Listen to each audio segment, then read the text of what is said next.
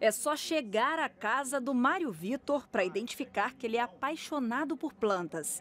Inclusive eu tenho aqui um pé de metiolate, tem aqui um, uma árvorezinha que se chama é uma fruteira, fruta dos milagres. Se você, na época da fruta, você colocar na boca e chupar um limão, vai ficar doce, doce, doce. Para que elas fiquem bonitas, é preciso bastante cuidado. Além de regar cada uma, ele se preocupa em não deixar água parada no quintal tem que ter o cuidado de não deixar acumular água, não só nas plantas, como os animais, que eu tenho um gato aqui também, que eu de todo dia eu troco a água deles também. E quando chove também, eu faço a minha revista no quintal todinho para não acumular água e não trazer doença para as pessoas, que no caso é a doença do mosquito, né? Mas como nem todo mundo cuida do próprio quintal, o trabalho dos agentes do CCZ não pode parar. É diário, repetitivo, mas necessário. Os profissionais abordam moradores de cada residência e aplicam o larvicida, além de orientarem a limpeza e retirarem possíveis focos. CCZ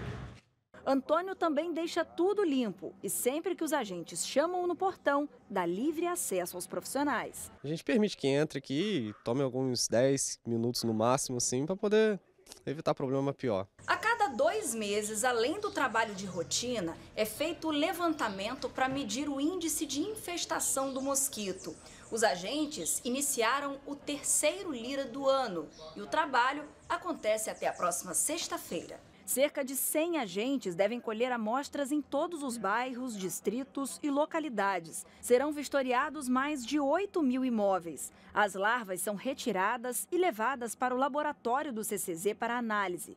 O resultado será divulgado na próxima semana. Desde o início do ano, o número vem diminuindo. Em janeiro, o índice foi de 5,4 em abril, caiu para 3,9%. Não é o número que a gente deseja, né? O número que a gente deseja é ter hoje um lira abaixo de 1%, que é o preconizado pelo Ministério da Saúde. A gente sabe que é, isso está acontecendo em todo o Brasil, em vários estados. Nós estamos com surto, nós estamos com epidemia de dengue. Né? Em Campos, nós estamos muito longe disso. Então, eu quero aqui, mais uma vez, em primeiro lugar, agradecer. Em segundo lugar, dizer que você faz parte dessa luta. Não deixa a dengue entrar na sua casa.